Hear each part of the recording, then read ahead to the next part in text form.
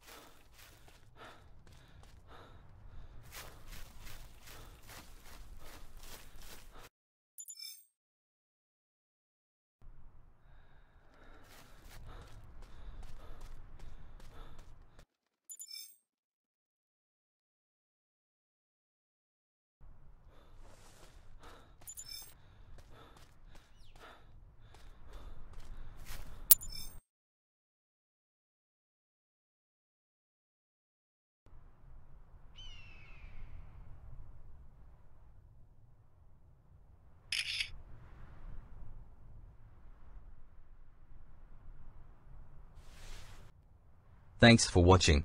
And as usual please click the like share or subscribe buttons below. Happy hunting!